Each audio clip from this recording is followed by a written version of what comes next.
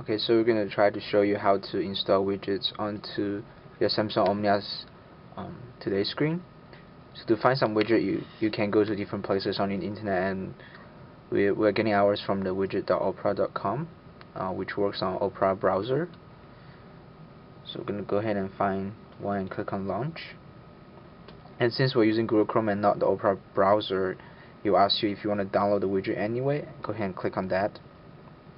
And once it's downloaded it will be showing a download folder. And as you can see here it doesn't have any extension.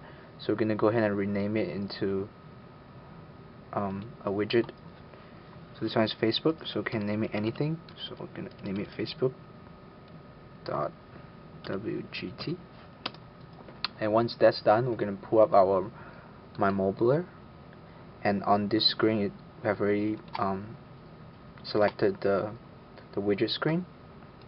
So we're going to go ahead and move that onto the screen here. And as you can see, it's been copied and installed. Okay. So once it's done, it will show up a, a message that says the widget has been successfully installed. So go ahead and click OK on that. And scroll down. And as you can see here, here's the Facebook um, Facebook widget on your Samsung Omnia. So hopefully this video gives you a better idea of how it works.